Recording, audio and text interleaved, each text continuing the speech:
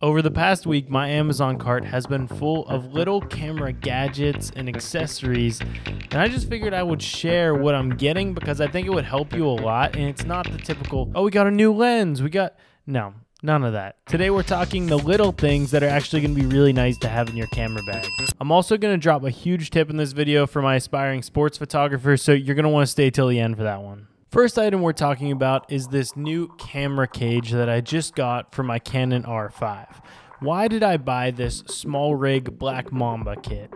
I am not really big on huge build outs for my camera. My Canon R5 is literally just the camera. That's all I use. I'll put a microphone on if I need to. I don't even own a monitor. But the reason that I ordered this is because recently I stripped the quarter inch thread on the bottom of my camera. If you don't know what that is, this is my old camera, but it's the tripod thread right here. This stripped, so I wasn't able to attach my Ronin tripod, nothing to it, so I had to send it back. I needed a solution because those are the kind of issues that could really cripple you if you're a creative. Luckily, I was headed off to Hawaii for a personal trip, so I had the ability to just send my camera out for two weeks.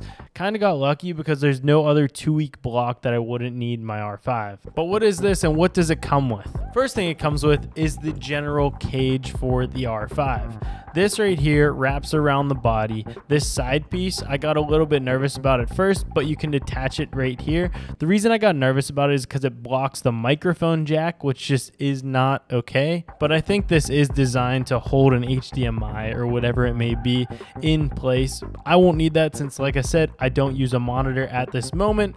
So I'll be taking these off. And if you're like, oh, I don't have an Allen wrench to take that off, it actually comes with this little piece on the bottom where you can remove this side side piece and then just have this around your camera. Another attachment it comes with is this top handle. So this will attach to the top where you can then hold in overslung mode and really just film like that.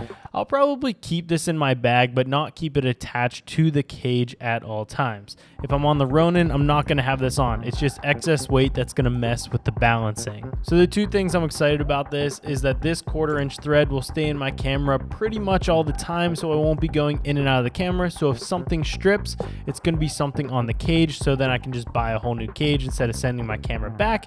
And also right here and right here, there are vertical mounts. So I am able to mount my camera to a tripod to my Ronin vertically and film vertical if that is what the shoot entails. The next thing we're talking about, and I'm literally opening this in real time, so this is a true unboxing. Is this right here. Now, what is this? Coming up, I have a shoot that I'll be using a lot of GoPro. One, because there's a lot of water that we're filming in, and that's what the client wants, so we make the best of it. Right here, this is a tripod to GoPro. Simple attachment, so if I want a locked off shot on my tripod, but on the GoPro, I can put this right on. And then what we're gonna be using with this is a vertical mount for the GoPro. So simply put, this is what it's gonna look like. This is to go on the mount for the tripod. So the tripod will be here.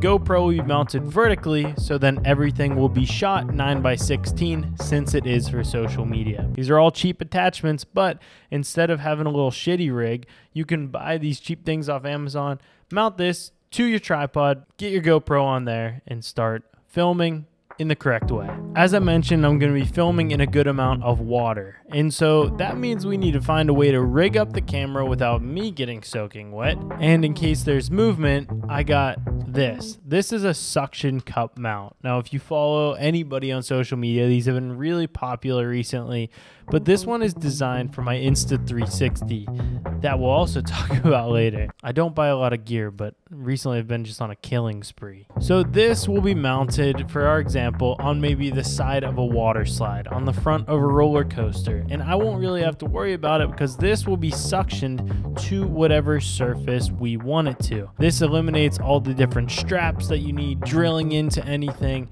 This will stay steady fingers crossed, and get us the shot that we need and save us a whole lot of time. And then we won't have to worry about spending hours rigging up a small camera. This is by far the most expensive thing I bought in this Amazon order. And this is something that I've wanted for a little bit, and it also will be useful on a shoot coming up. This right here is the Insta360 X3. Simply put, this is a 360 camera, and how I'm going to be using this is for behind the scenes and maybe rigging it up on a shoot pretty soon. Then I can get the perspective of somebody and what they're looking at.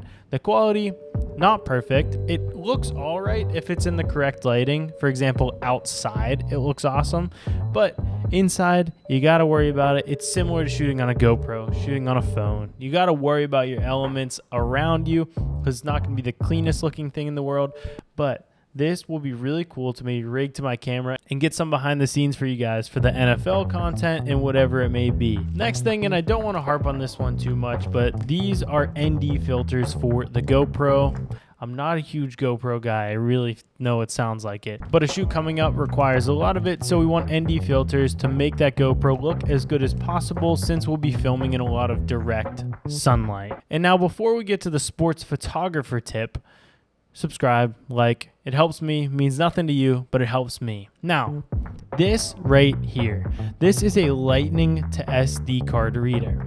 Yes, basic piece of gear, but what am I going to tell you here? Well, number one, when you're working with gear like this, this is not going to work 100% of the time. This is actually the one from Apple. I paid a little bit extra for it, but if this goes out, I have a backup. In a recent game that I was shooting, I actually was in trouble because it stopped working. So I ordered two new ones a main one and a backup. This is a third party. It's just a few bucks. It'll work, but it won't last nearly as long as this one. But let me teach you how this works in the simplest sense. So you got your camera, you took your photos. What you're gonna do, you're gonna pop your memory card out of your camera, now you got your SD card. Put the SD card in the memory card reader, and then we're gonna plug it straight into our phone. Once we have the reader plugged into our phone, we're gonna go to our Photos app.